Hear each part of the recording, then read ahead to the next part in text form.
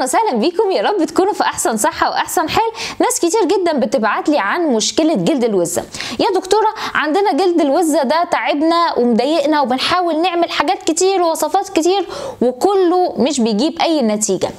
النهارده أنا هقول لكم المشكلة دي بتحصل ليه وهديلكم على افضل الكريمات اللي ممكن تجيبوها عشان تحلوا الموضوع ده نهائي ومن ارخص الاسعار للاغلى حسب المقدره ولو مش قادرين تشتروا الكريمات فانا هديلكم وصفه بسيطه جدا من 10 15 جنيه تقضيها وتبقى زي الفل وهتجيب نفس التأثير. مش بس كده هقول لكم على شوية نصايح مهمة جدا تعملوها علشان حتى لو عالجتوا المشكلة دي ما ترجعش تاني. خليكم معايا وسجلوا بقى لأنها هتكون حلقة مهمة جدا.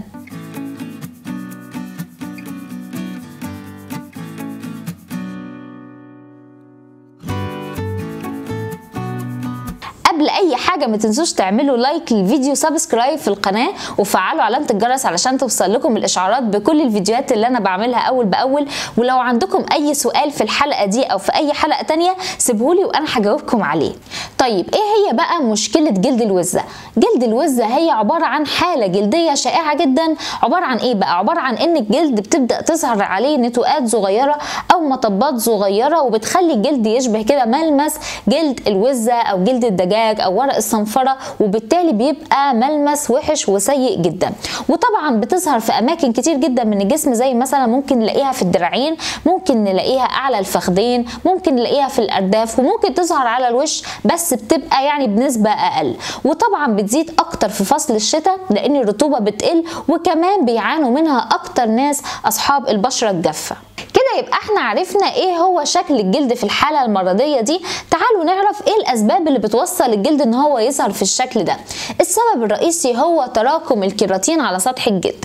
الكيراتين هو بروتين مسؤول عن صحة الجلد وان هو بيحافظ عليه من الالتهابات والأشياء الضارة. طيب إيه اللي بيخلي الكيراتين يتراكم على سطح الجلد؟ عدة أسباب زي مثلا ممكن يكون بسبب عوامل وراثية أو ممكن يكون بسبب أمراض جلدية زي الإكزيما أو ممكن يكون بسبب البدانة أو زيادة الوزن وممكن يكون بسبب تغير هرموني وده بيحصل أكتر حاجة مع النساء أثناء فترة الحمل. لأي سبب من الأسباب دي الكيراتين بيبدأ يتراكم على سطح الجلد وبدل ما الشعرة بتطلع على طول طبعا هو كده سد لها المكان اللي هتطلع منه فبالتالي بتطلع متنية تحت الجلد وما تقدرش تطلع بشكلها الطبيعي. فبتعمل بقى النتوءات والالتهاب والإحمرار وده اللي بيوصل الجلد للحالة المرضية اللي بتسمى بورق الصنفرة. طيب نيجي بقى للعلاج والعلاج بسيط وسهل جدا.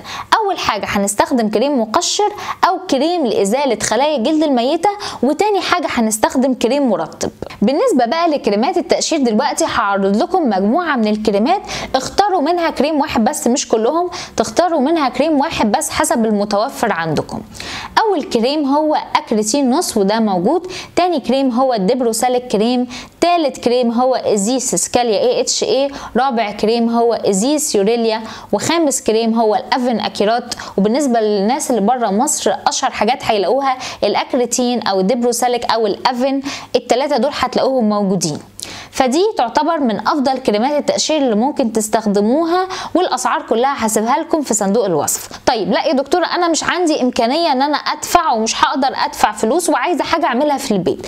طيب يبقى أنت بقى جيتي المكان الصح. هديلك حاجة بسيطة جدا تعمليها في البيت وفوائدها رائعة جدا.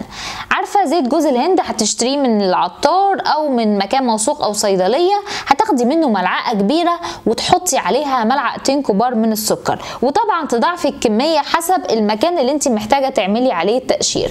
زيت جوز الهند معروف بفوائده الرائعة جدا للبشرة وإنه بيقلل الالتهاب والماسك ده مفيد جدا إن هو بيعمل على التقشير وإزالة خلايا الجلد الميتة وفي نفس الوقت بيدي نعومة للبشرة فبالتالي هو كله مفيد جدا ويعتبر من أفضل المقشرات الطبيعية اللي انت ممكن تعمليها في البيت. يبقى كده أول مرحلة إن إحنا استخدمنا كريم التقشير. اختاروا زي ما قلت لكم كريم والناس اللي مش هتقدر ممكن تعمل الوصفة الطبيعية.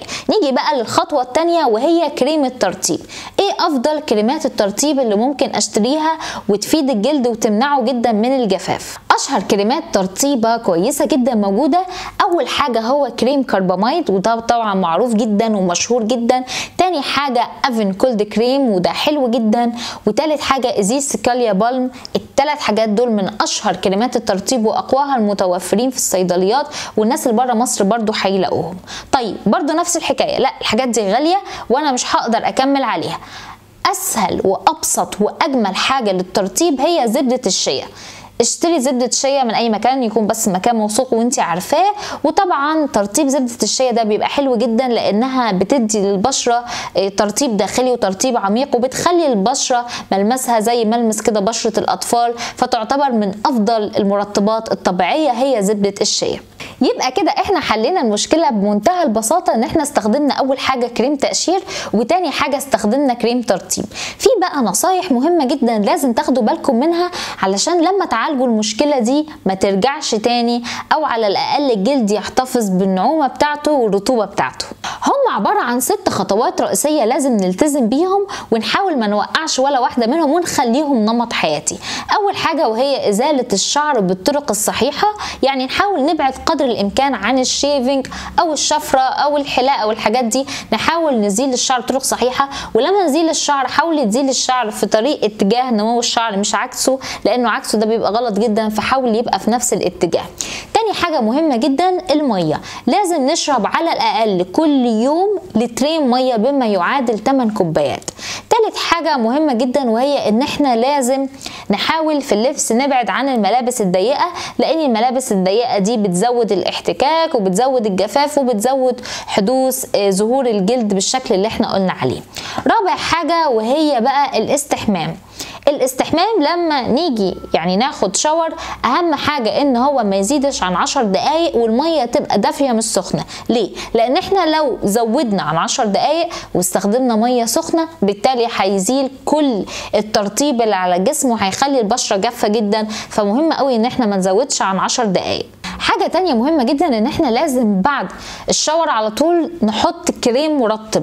لازم الكريم مرطب ده بيبقى مهم جدا لأن هو اللي بيحافظ على رطوبة الجسم وبيحمي الجلد من حدوث الجفاف. فمهم قوي بعد الشاور على طول تعملي ترطيب. وآخر حاجة معانا بقى هو إن انت ما تستخدميش أي صابون للجسم المعطرات والحاجات دي. حاولي تستخدمي الصابون الطبي لأنه بيبقى أفضل جدا في حالة حدوث جلد الوزة وهو بيمنع بشكل كبير جدا رجوع الجلد بالشكل ده. وبكده بمنتهى البساطة يبقى إحنا عرفنا إزاي نعالج جلد الوزة.